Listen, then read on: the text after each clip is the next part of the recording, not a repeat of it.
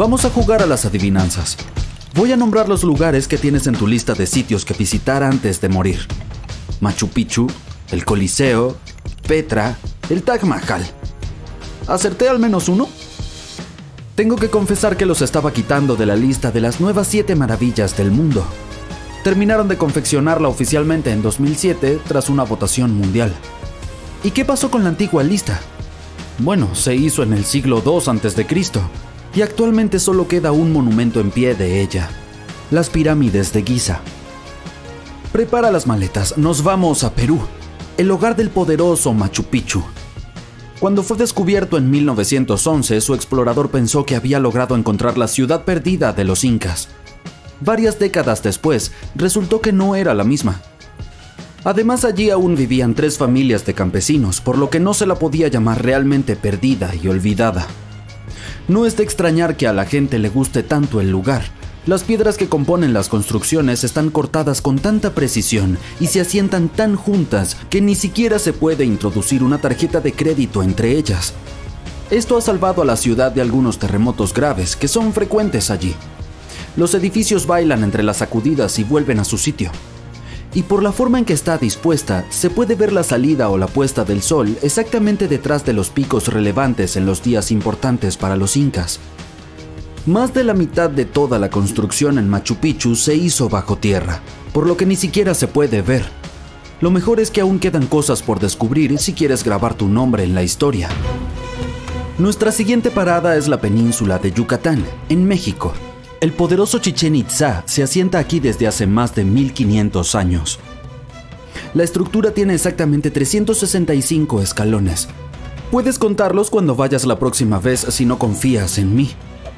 Los mayas que lo construyeron todo se dedicaban a la astronomía, así que no es de extrañar que hicieran tantos escalones como días tiene el año. Además, si pasas por aquí durante el equinoccio de primavera o de otoño, verás que las sombras que proyecta el sol poniente hacen que parezca que hay una serpiente bajando las escaleras. La serpiente emplumada era una de las principales deidades del antiguo México. Chichen Itza fue un bullicioso centro urbano. Tuvo sus altibajos y cuando llegaron los españoles en el siglo XVI estaba prácticamente abandonado. Las primeras fotos que tenemos del lugar son de finales del siglo XIX Parece que la pirámide adosada tenía mucha más vegetación en 1892. La única fuente de agua dulce en este clima seco son los cenotes o sumideros llenos de agua. Hay cuatro cenotes visibles y es muy probable que la pirámide del templo se encuentre sobre uno o más. Los arqueólogos están buscando túneles para entrar en él. Para ver nuestra próxima maravilla, debes estar dispuesto a compartirla con otras 15.000 personas, porque ese es el número de turistas que visitan cada día la estatua del Cristo Redentor. Esta se alza sobre el Cerro del Corcovado y pesa unas 635 toneladas. Debió de ser difícil subirla hasta allí. En realidad llegó por partes. Un escultor francés, Paul Landowski, hizo varias piezas de la futura escultura en arcilla, la cabeza y las manos se hicieron a tamaño natural, y el cuerpo se agrandaría sobre la marcha. Las partes de la estatua se cortaron en cubos, se moldearon en hormigón y se unieron. Los trabajadores preparaban el cemento in situ y trasladaban todas las herramientas por un pequeño ferrocarril de ruedas dentadas que los turistas utilizaban para subir a la colina.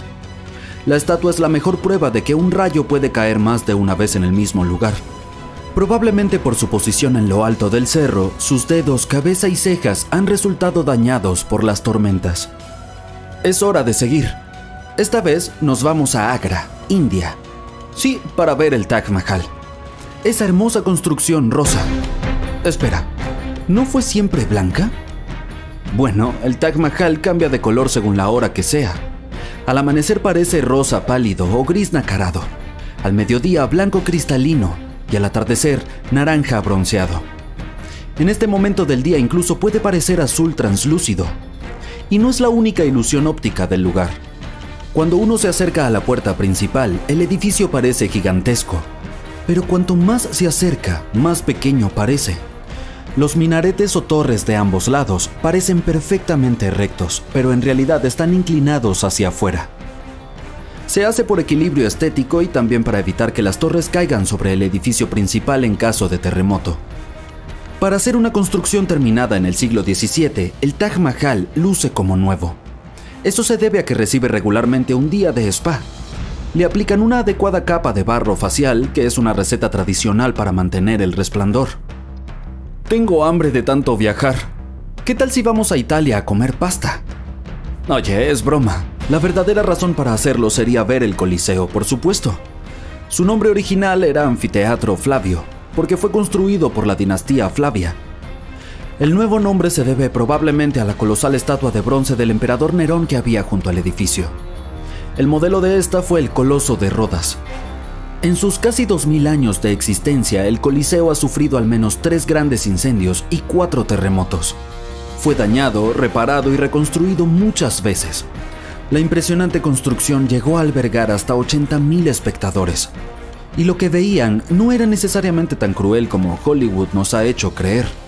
La mayoría de los combates de gladiadores se desarrollaban bajo reglas estrictas, a veces el público se aburría con el espectáculo y los participantes se retiraban del lugar. Una vez que el Coliseo dejó de servir como arena, se utilizó como cementerio, lugar de culto, vivienda, talleres para artesanos y comerciantes, sede de una orden religiosa y castillo fortificado. Ahora está abierto al público e incluso puedes visitar su laberinto subterráneo. ¿Estás preparado para la siguiente maravilla?